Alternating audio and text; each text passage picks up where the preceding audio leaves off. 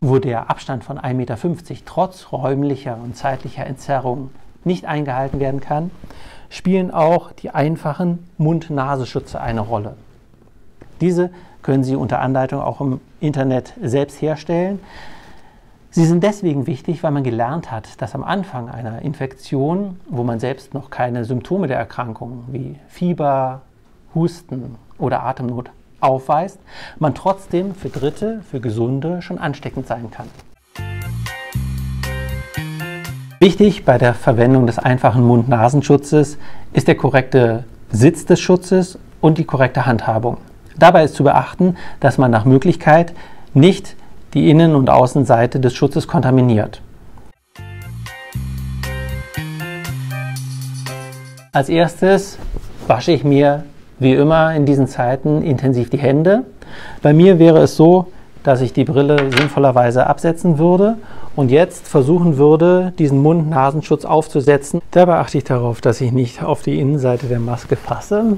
Lege mir die so über dass der Sitz korrekt ist. Dabei können die Bänder durchaus überlappen, damit ich einen sicheren Schutz unten und an der Nase durch die Bügel stattfinden lasse.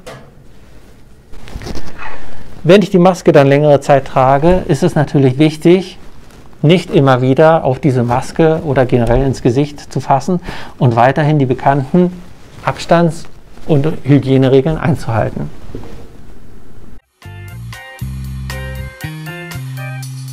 Zum Abnehmen des Mund-Nasenschutzes ist es wichtig, dabei weder das Gesicht selbst noch die Innenseite des Schutzes zu kontaminieren. Am besten greife ich mit der einen Hand die beiden Gummibänder und mit der anderen Hand die Mund-Nasenschutz selbst, um so unter Spannung eine Kontamination zu verhindern. Einerseits will ich verhindern, dass ein durchfeuchteter Mund-Nasenschutz Schimmel entwickelt. Auf der anderen Seite will ich verhindern, dass durch diesen lagernden Mund-Nasenschutz weitere Personen infiziert werden. Ich persönlich würde zum Trocknen den Mund-Nasenschutz zunächst in einen luftdurchlässigen Beutel packen, um ihn erneut wiederverwenden zu können. Wenn ich den Mund-Nasenschutz nicht am selben Tag wiederverwenden möchte, kann ich ihn am besten in einen luftdichten Beutel packen, um ihn zu Hause entweder bei 60 Grad zu waschen oder kurz auszukochen.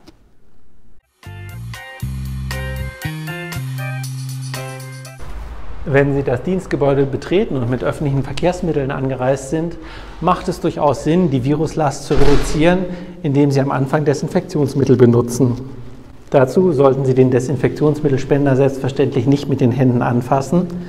Das Desinfektionsmittel intensiv verreiben, dabei auch auf die Bereiche zwischen den Fingern achten und anschließend die Hände an der Luft trocknen lassen. Bleiben wir also zuversichtlich, aber auch achtsam und am allerbesten natürlich gesund.